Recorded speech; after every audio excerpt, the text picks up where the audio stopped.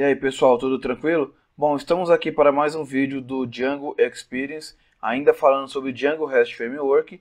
E no vídeo passado, que o card está aparecendo aí em cima, nós vimos como trabalhar com autenticação. E hoje nós veremos como trabalhar com permissões. Só que antes eu queria mostrar o seguinte. Eu tinha mostrado como criar o token pelo terminal usando o Shell Plus. Mas pelo painel de admin você pode vir aqui e criar um novo token. Então, por exemplo, aqui para, o, para mim, o Regis, eu ainda não tenho um token. Então, quando eu clicar em salvar, ó, ele adicionou o token aqui para mim. Então, você pode fazer isso pelo painel de admin também. Agora, voltando ao nosso projeto. Bom, então vamos entender como que funciona as permissões no Django REST Framework. Lembrando que todo o nosso projeto está em github.com.br rg3915 Django Experience e aqui está o link da documentação então você vem aqui em API Guide e aqui tem Permissions. E basicamente a diferença entre autenticação e permissão é que quando você faz a autenticação você está logado no sistema. Mas isso não significa que você pode fazer alguma coisa. Então você tem que definir as permissões no seu projeto. E o mais comum que nós temos aqui é o isAuthenticated, que é o primeiro. Então vamos vir aqui no projeto e é o seguinte, aqui no settings.py, eu posso escrever aqui.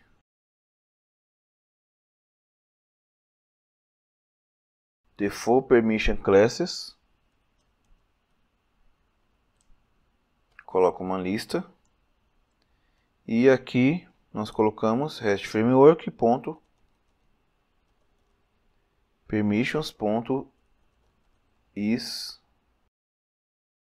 Is authenticated. E daí o interessante de você configurar ele no settings.py é que você não precisa declarar em todas as views, por isso ele fica global.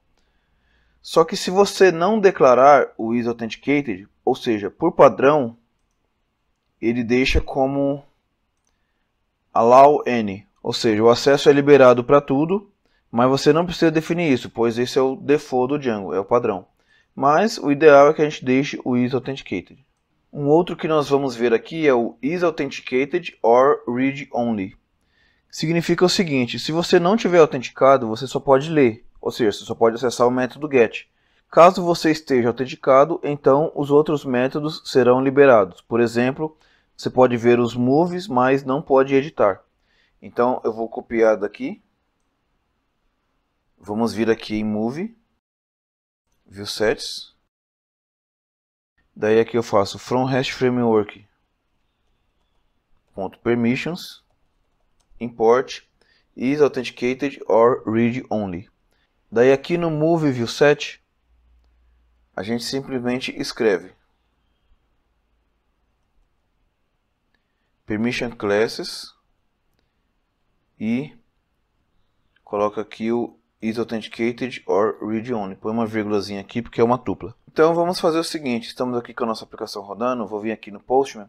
Eu já criei uma coleção aqui, uma collection, para ficar mais fácil. Primeiro eu vou tentar fazer um get sem autenticação nenhuma.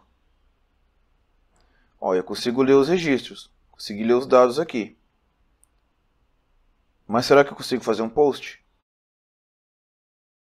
Oh, não, não consigo porque as credenciais de autenticação não foram fornecidas. Então, se eu colocar aqui a autenticação, por exemplo, Regis, vou mudar aqui para Toy Story e ó, deu algum erro aqui, hein? Ah, not known censure porque é um campo novo que eu tinha criado aqui que é um campo de censura no, no, no filme, que a gente vai ver ele já já. É, na verdade ele não está aqui, mas eu já vou definir ele aqui, porque já que a gente tocou nesse assunto, a gente vai precisar dele, que seria a censura do filme. E vou deixar como um campo obrigatório. E aqui eu vou fazer python manage.py make migrations. Default vai ser 14 anos. E depois migrate.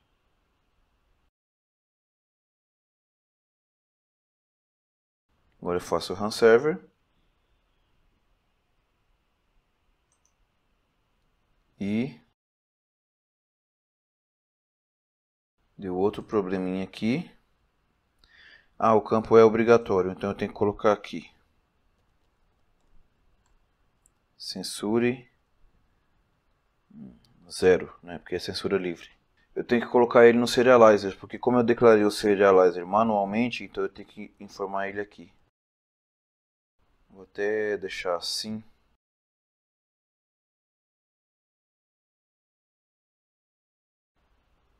Prontinho, agora deu certo.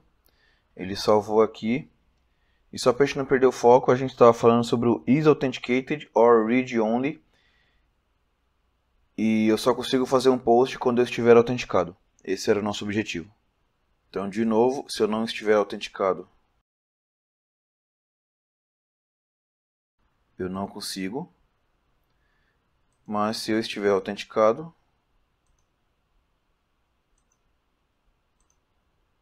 daí eu consigo. Se você olhar aqui na documentação, temos um passo aqui onde diz que a permissão ela pode ser feita por Object Level Permissions, ou seja, permissões a nível de objeto. E geralmente isso aqui é chamado quando é executada uma instância do model, por exemplo. E as permissões rodam quando é chamado o método .getObject. Só que a gente vai ver isso com mais detalhes daqui a pouco. Então, olhando aqui para a API, a gente já viu o AllowN, que é um acesso liberado para todos, o isAuthenticated, que exige que o usuário esteja autenticado, o isAdminUser, que é somente usuários do tipo userStaff igual a true podem acessar, ou seja, somente quem tem acesso ao painel de admin. O isAuthenticated or read only, que nós acabamos de ver. E temos aqui também o Django Model Permissions, o Django Model Permissions funciona da seguinte forma. Para o método get, nós temos a permissão view. Para o método post, a permissão add, put, change e delete, delete. Ele funciona da seguinte forma. Você pode vir aqui pelo painel de admin, escolher um usuário, por exemplo, Regis, e dar uma permissão para ele. Por exemplo, eu vou escolher aqui permissões do usuário, move, e aí aqui eu posso escolher, eu posso informar que ele pode ver os filmes e adicionar um novo. Somente isso. Só que isso aqui tem um problema, né? Que se você tem um usuário e você dá as permissões para ele, você vai ter que fazer isso individualmente para cada funcionário. Imagine um sistema com milhares de usuários, como que você vai gerenciar isso daí? Então, uma dica que eu recomendo, que todo mundo recomenda na verdade, é que você crie um grupo e defina as permissões para esse grupo. Essas bolinhas aqui é porque a pessoa pode ler, criar, editar ou deletar. Então, se você define as permissões para cada grupo, você consegue gerenciar melhor os seus usuários. Então, vamos fazer o seguinte: vou ignorar isso daqui. Vou criar alguns grupos aqui, por exemplo, o grupo editor. O grupo editor ele pode can change move, ou seja, ele pode editar um filme. Então aqui eu tenho um usuário chamado editor, que é só o username editor, que ele, tá, ele está associado ao grupo editor. Então ele pode editar um filme. Eu tenho um grupo criador. Então se você olhar aqui os grupos, tem o criador, que ele pode adicionar ou editar. E temos também o grupo gerente, que ele pode adicionar, editar ou deletar. Eu não coloquei o view porque o view todo mundo já consegue ver por padrão, certo? Então vamos testar como que funciona isso daqui na prática. Uma coisa importante aqui é que estes usuários não podem ser super usuário, porque senão o Django Model Permissions não vai surtir efeito sobre eles. Então você garanta que o is super user é igual a false para esses usuários. Eu já mostrei os grupos, já associei os grupos a cada usuário. Então aqui a gente vai fazer o seguinte.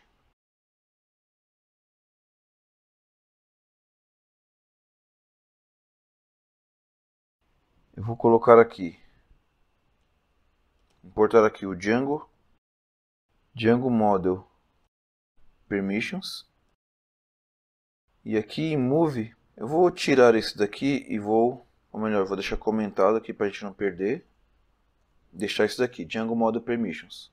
Então eu vou entrar aqui como, como Regis, vou tentar fazer um put. Deixa eu fechar esse. Então aqui Regis. Vou tentar fazer um put, vou eu pegar o ID de um filme aqui.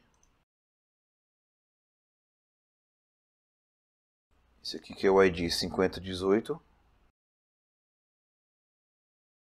Vou tentar mudar ele para Inception 5.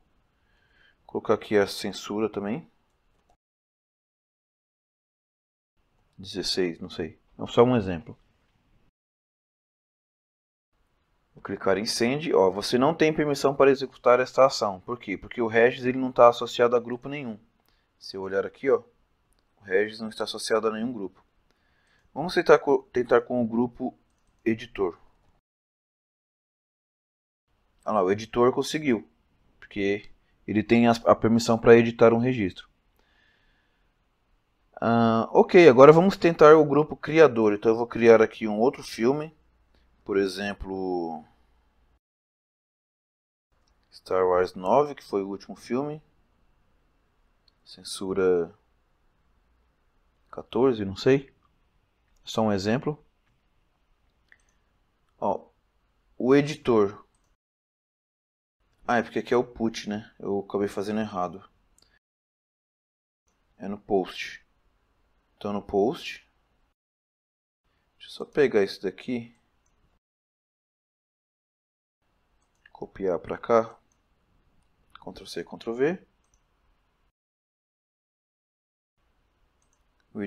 Aqui é editor. Ó, você não tem permissão para executar esta ação, ou seja, ele não pode criar, porque ele é um editor. Mas se eu colocar aqui criador, então ele consegue porque ele tem a permissão para adicionar.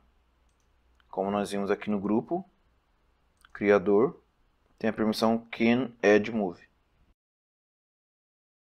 Então é isso, basicamente esse é o raciocínio para o Django Model Permissions. Agora nós veremos, aqui seguindo a documentação, o Custom Permissions, que é fazer as nossas permissões customizadas do jeito que a gente precisar. Então, a primeira permissão que eu vou fazer aqui é o seguinte. Eu tenho alguns filmes aqui. Ó, por exemplo, tenho... É, não está aparecendo aqui, mas eu vou colocar aqui no painel de admin rapidinho. Censura. Então, por exemplo, eu tenho Star Wars 9 com censura de 14 anos, Toy Story 2 0, e tem esse filme aqui também, Loren, que é um exemplo qualquer, com censura de 13 anos. Eu tenho aqui também o grupo infantil. E o grupo infantil não tem permissão nenhuma. Mas eu tenho um usuário, que é o Pedrinho, que pertence a esse grupo infantil. Então o que eu quero fazer aqui é o seguinte. Primeiro eu tenho que importar aqui em cima. Base permission no singular, base permission. E daí aqui eu vou criar uma nova classe chamada censure permission, herdando de base permission. Eu vou definir que a idade do usuário seja 14 anos. Isso aqui tem jeito, jeitos melhores de fazer. Você poderia pegar a idade do usuário que está logado no sistema, mas aqui é um, eu quero deixar o exemplo mais simples. E aqui o grupo name infantil. E a mensagem será esta.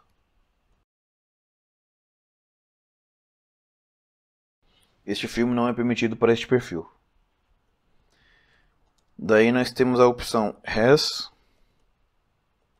Permission no singular com Self Request e View. Primeiro vamos retornar uma lista de todos todos os grupos do usuário logado, porque de repente o usuário pode estar em vários grupos. Então request.user.groups Vamos pegar uma values list com name e aqui eu coloco flat true que é para ele retornar uma lista. Pega a instância do objeto. Então o obj será view.get object e a censura será objeto.censura ponto censura, que é o nome do campo. Então, se o group name, que é o infantil da linha 38, ele estiver na minha lista de grupos da linha 43 e a censura for maior ou igual ao self.ageuser, ou seja, for maior do que 14 anos, então o response será a mensagem self message e o status code será status.http 403 forbidden. Daí eu retorno um erro drf validation error response. Caso contrário, retorna true. Aqui eu vou importar o status. E aqui from hash framework.exceptions import validation error as drf validation error. Coloquei um alias só para diferenciar e fica mais fácil da gente localizar ele aqui embaixo, identificar ele. Bom, então vamos ver como que funciona isso. É, por exemplo, pegar esse filme aqui. Star Wars 9, que é o ID 5021. Então aqui é o get. 5021 barra. Só que aqui eu vou colocar o Pedrinho, já tem a senha dele aqui. Hum, ele acessou? Ah, acessou porque eu esqueci de colocar aqui, né?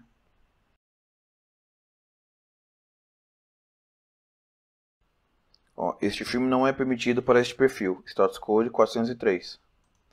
Porém, o Toy Story, ID 5020,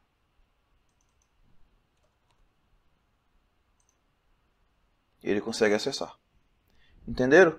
Então a gente colocou uma censura baseada no perfil do usuário e na idade, na, na, na censura do filme, né? a idade do que pode assistir cada filme. Tem um detalhe aqui também, ó. eu tenho um, um perfil que a gente vai ver agora, que é o perfil de gerente. E o gerente ele pode deletar também. Ou seja, eu vou pegar esse filme aqui que está duplicado eu vou deletar isso daqui. ID 5018. Então, se eu clicar aqui em Delete,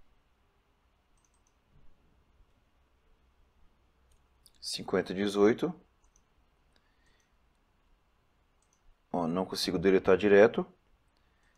Se eu colocar Regis, você não tem permissão para executar esta ação, mas se eu colocar gerente, olha, consegue deletar. Ele deletou o filme. Tanto que você pode ver aqui que ele sumiu daqui. Mas e se eu quiser proibir que seja deletado em qualquer circunstância? Ou seja, não pode deletar nunca. Nenhuma situação. Então faz o seguinte, vamos criar aqui ó, um class not delete permission herdando de base permission. Nenhum registro pode ser deletado. Deixa eu já colocar ele aqui antes que eu me esqueça. def has permission, self request e view, if request.method igual. Delete, então response será message self message status code status code ponto http 403 forbidden. Daí a gente envia um erro validation error response caso contrário return true já importei ele aqui então agora Deixa eu pegar um outro filme aqui. Por exemplo, Loren ID 5012. Então, mesmo estando como gerente, pegar o 5012, nenhum registro pode ser deletado. Então é isso aí, pessoal. Nós vimos aqui como trabalhar com permissões no Django Hatch Framework. Espero que vocês tenham gostado. Valeu, um abraço e até a próxima.